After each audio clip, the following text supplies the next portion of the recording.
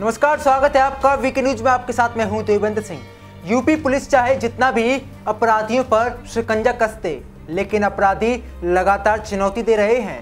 अपराधी नेताओं को भी नहीं छोड़ रहे हैं। आपने फ़िल्मों में देखा होगा कि बदमाश बाइक पर बैठकर नेताओं को गोली मार देते हैं। लेकिन आज ऐसा ही हुआ है मेरठ में, जहाँ पर दिन दहाड़े बाइक सवार बदमाशों ने पार्षद जुबेद अंसारी की गोली मारकर हत्या कर दी, जिसके बाद कोहराम मच गया। आपको बता दें जुबेर अंसारी पेशे से प्रॉपर्टी डीलर हैं, जो ए से जुड़े थे।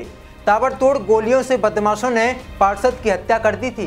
आपको बता दें, वारदात को अंजाम देकर बाइक सवार मौके से फरार हो गए। गोलियों की तड़तड़ाहट से पूरा इलाका दहल गया है। जिसके बाद पुलिस ने पार्षद के शव को पोस्टमार्टम के लिए भेज दिया है और मामले की जाँच की जा रही है। एआईएमआईएम के पार्षद जुबेर अंसारी संतोष हॉस्पिटल के पास रहते हैं। आपको बता दें, जुबेर अंसारी कार से जा रहे थे। तभी पहले से ताक लगाए बैठे बाइक सवार बदमाशों ने पार्षद पर गोलियाँ बरसा दी। ताबड़तोड़ फायरिंग में जुबेर अंसारी की मौके पर ही मौत हो गई। हमलावर वारदात को अंजाम देकर फरार हो गए। घटना के बाद कई थानों की फोर्स वहाँ पर पहुँची और मामले की जाँच में जुट गई है। पुलिस इलाके में लगे सीसीटीवी कैमरे कंगाल रही है, जिसके बाद आरोपियों की तलाश में नाकेबंदी भी करा दी गई है। लेकिन अभी तक पुलिस को ना तो हत्या की वजह पता चली है और न ही हत्यारों का कोई सुराग लग सका है। एसपी सिटी विनीत भटनागर ने बताया कि जुबेर के पास से देहरादून स्थित प्रॉपर्टी के कुछ कागजात मिले हैं। माना जा रहा है कि प्रॉपर्टी विवाद में ही जुबेर की हत्या की गई है। जुबेर के परिजनों की माने तो उनकी कोई रंजिश नहीं थी। इस पूरे मामले पर मृतक के परिजनों का क्या कुछ कहना है आपको सुनाते हैं। और तीन तीन चार गोली तो एक बार में चलाई। फिर दोबारा वो वापस गया या देखा उसे क्या लगा तो दोबारा भी उनने गोली चलाई।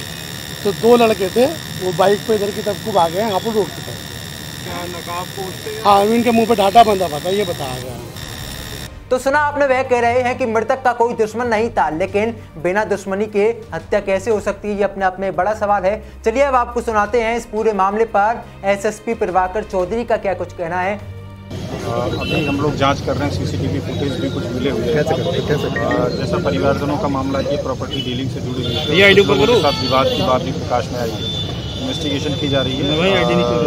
शीघ्र घटना का खुलासा। तो सुना, आपने एसएसपी साहब कह रहे हैं कि बदमाशों की तलाश की जा रही है। अब ऐसे में सवाल ये खड़ा होता है कि आखिर कब तक पुलिस बदमाशों को पकड़ पाती है? इसी सवाल के साथ मुझे दीजिए इजाज़त। आप देखते रहिए वीके न्यूज़ नमस्कार।